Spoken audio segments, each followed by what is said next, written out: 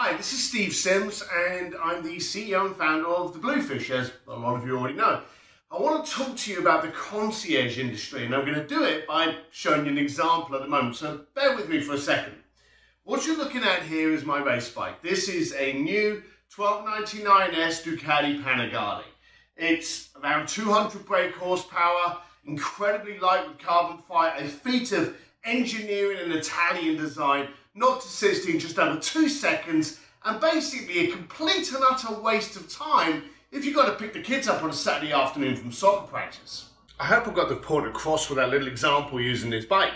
You see, the concierge industry has just become diluted. You can get a concierge for your car, you can go and buy a TV, and at your Best Buy, there's a Best Buy electrical concierge. I dropped my dog off at the vet the other day and I was asked if I wanted to make an appointment by the vet concierge.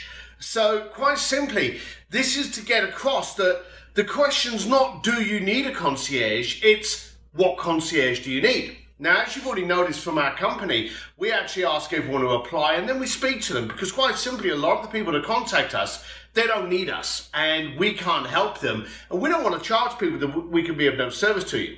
So when you're looking out there for a concierge, the first thing I want you to do is actually look at what you want. What do you need? Are you looking for people in travel? Are you looking for people in events, experiences, wedding, corporate? Ask yourself those questions. Come armed, understanding what kind of concierge you're going to get. It's pointless you get a pet concierge when you're planning a wedding. So there's concierge firms out there very reputable. There's also a lot of concierge firms out there that opened up on a Monday and closed down on a Friday. So my question to you is when you're looking at a concierge firm, know who's behind it because those are the people that are responsible. A concierge actually owns nothing. We have no product. We don't produce anything that you can take home. It's all about the access. It's all about the Rolodex. And if you can't trust the person behind it, or quite simply, if they won't stand in front of that service and say, hey, this is who I am, this is what I do, do you really want to be giving them your credit card details? So I ask you, go and ask yourself first of all, what do you need from a concierge? Then go and start looking out and see what kind of firms are out there. And if you've got something that you want and you want to ask us, hey, we'll direct you. We're not for everyone. We've stated that very clearly on the website, but we may be able to nudge you in the direction of someone that is.